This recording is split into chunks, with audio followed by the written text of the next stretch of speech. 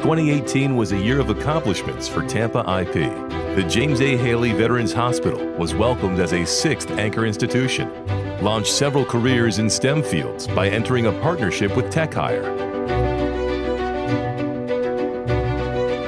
secured 501c3 status, recognized community businesses and organizations for commitment to the community. With unprecedented growth, membership increased from the original 4 to 232. Supported Mort Community School to mold the young innovators of tomorrow.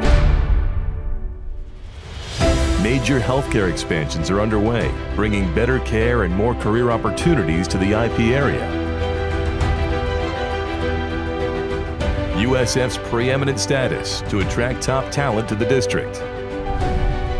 Gateway Street lighting improvements to be approved and in development. Secured $2.4 million for transit in the district over the next three years, including the Uptown Circulator. The Florida Blue Civic Entrepreneurship Lab is funded and opening in early 2019.